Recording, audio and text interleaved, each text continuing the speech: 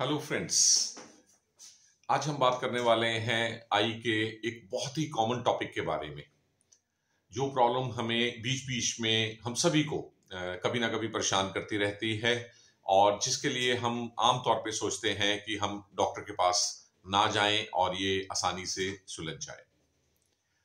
इस मामले में ये वीडियो बनाना ज़रूरी था क्योंकि ये है पिंक आई के बारे में।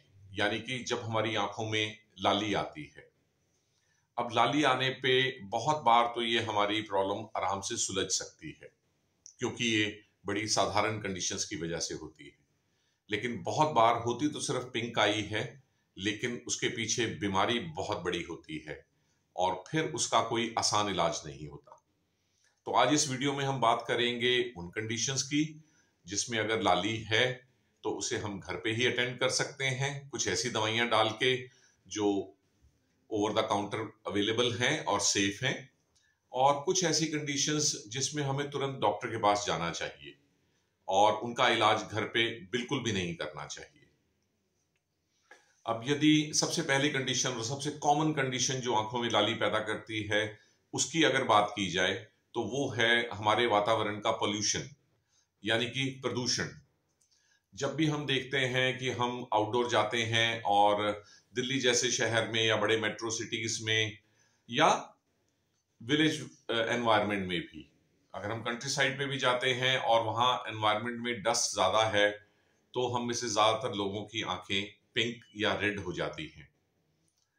अब अगर तो हमें ये पता है कि सिर्फ़ इस एनवायरनमेंट की वजह से हमारी आँखों में लाली है, जब हम बाहर गए हैं या हमने कोई टू व्हीलर चलाया है और गॉगल्स और हेलमेट नहीं पहना है तो इन कंडीशंस में हम जाने से पहले और वापस आके कुछ दवाइयों का प्रयोग कर सकते हैं। इस वीडियो में अब मैं कुछ ब्रांड नेम्स का नाम लूँगा ताकि आप उन्हें बाज़ार से खरीद भी सकें, लेकिन मैं आपको बताना चाहूँगा कि इसमें हमारा कोई फाइनेंशियल इंटरेस्ट नहीं है और ये स्पॉन्सर्ड नहीं।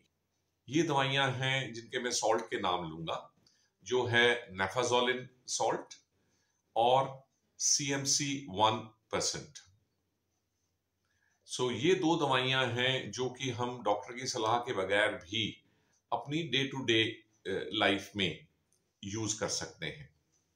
अगर इनके कुछ ब्रांड नेम करें तो नेफाजोलिन अवेलेबल है नेफेम नेफेम प्लस मीजॉल इन नामों से, और C M C carboxy methyl cellulose one percent eye drop available होती है रिफ्रेश टीयर ऑन टीयर इस तरह के नाम से।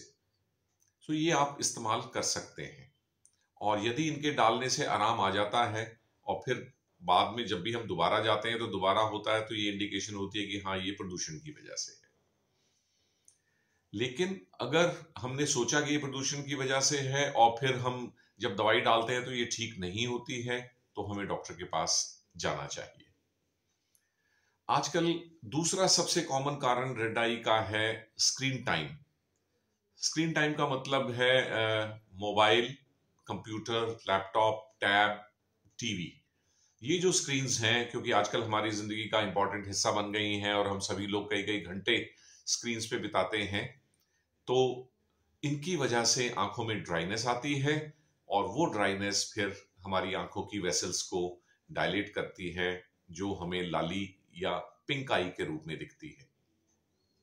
इन कंडीशंस में भी हम सीएमसी वन परसेंट को प्राइमरी दवाई मान के डालेंगे, जो कि रिफ्रेश टीयर्स ऑन टीयर्स इन नामों से मिलती है, ताकि कारण दूर हो, यानी ड्राइनेस ठीक हो।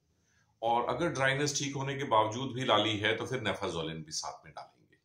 यानी मीजॉल या नेफेम इस तरह की दवाइयाँ भी इस्तेमाल करेंगे।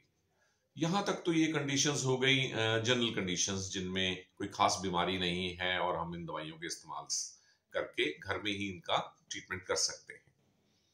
इसके बाद आँखों में लाली की कुछ और वजह होती हैं जो खास बीमारी की वजह से होती हैं और जिनमें घर बैठ के इलाज नहीं करना है। इनमें मेन बीमारियाँ हैं, सबसे पहली तो है एलर्जिक कंजंक्टिवाइटिस इसमें भी आँख में लाली आएगी लाली के साथ साथ इसमें आँखों में इचिंग या खारिश या खुजली महसूस होगी और साथ में थोड़ा बहुत पानी आएगा। सो so, इसके लिए तो आपको ट्रीटमेंट अपने डॉक्टर से ही कराना है। इसके अलावा फिर होती हैं infective conjunctivitis viral conjunctivitis bacterial conjunctivitis जिसमें आँख में लाली के साथ साथ डिस्चार्ज या कीचड़ भी आएगा और आँख चिपक भी जाएगी। इसका ट्रीटमेंट भी आपको अपने डॉक्टर के यहाँ जाके ही कराना है, खुद नहीं करना है। फिर एक तीसरी कैटेगरी की बीमारियाँ हैं, जो और सीरियस बीमारियाँ होती हैं और उनमें भी आँखों में लाली आती है। लेकिन उनके सिम्टम्स लाली के अलावा भी कुछ अलग भी होते हैं। ये बीमारियाँ हैं, जैसे कि ग्लूकोमा। ग्लूकोमा में भी, यानी काले मोतिये में भी आपकी आँख में लाली आएगी, लेकिन उसके साथ साथ आमतौर पे लाइट के चारों तरफ़ रंगीन घेरा दिखना आँखों में दर्द होना, सिर दर्द होना, ये भी शामिल होगा। या एक और बीमारी होती है जिसे हम कहते हैं यूवियाइटिस। इस बीमारी में भी आँखों में लाली तो आएगी, लेकिन उसके साथ ही साथ देखने में भी धुंधलापन आएगा। और सिर दर्द होगा, आँखों में दर्द होगा, पानी आएगा आँख से। इन सब बीमारियों में तो हमें लाली को सीरियसली लेना है और तुरंत अपने डॉक्टर के पास जाना है। और ये नहीं सोचना कि हम नेफाजोलिन या सीएमसी डाल के ही अपना काम चला लें। इसके अलावा एक और कंडीशन जो कॉमन है, वो है फॉरेन बॉडी अगर हमारी आँख में चली जाए, हम बाहर गए और कोई धूल का कण अगर आँख में चला गया और उसकी वजह से हुआ तो फिर उसमें आँखों में रिड़कन भी होगी। तो उसमें तो हमें पहले आँख में पानी का छीटा मार लेना चाहिए और फिर मेफाजोलिन और C M C one percent eye drop use करके अगर ये ठीक हो जाता है तो ठीक है। और यदि फॉरेन बॉडी अभी भी आँख में है तो आपको आई स्पेशलिस्ट के पास जाके ही उसका ट्रीटमेंट कराना है। सो so फ्रेंड्स अगर लाली किसी सिंपल वजह से है, जैसे प्रदूषण या सूखापन आई जो आजकल स्क्रीन की वजह से आता है तो उसका इलाज तो घर पे हो सकता है, या आप ट्राई कर सकते हैं। लेकिन बाकी लाल आँखों में ना तो खुद कोई दवाई ट्राई करें, ना ही सिर्फ़ केमिस्ट से जाके दवाई लें, क्योंकि वहाँ पे आमतौर पे आपको फिर स्टीरॉयड ग्रुप की दवाइयाँ दे दी जाती हैं, जो ऊपरी तौर पे तो आँख की लाली को ठीक कर देती हैं, लेकिन वैसे हमारी आँखों के लिए घातक हो सकती हैं। सो नेक्स्ट टाइम अगर आपकी आँखों में लाली आए तो इन सब बातों का अगर आप ध्यान रखेंगे तो कुछ कंडीशंस को घर पे और बाकी कंडीशंस को डॉक्टर के पास जाके ही ठीक करवाएँगे। आई होप ये इन्फॉर्मेशन आपके लिए यूजफुल रही होगी। और आप केयरफुल रहेंगे अपनी आँखों की लाली के बारे में। Thank you for listening to this talk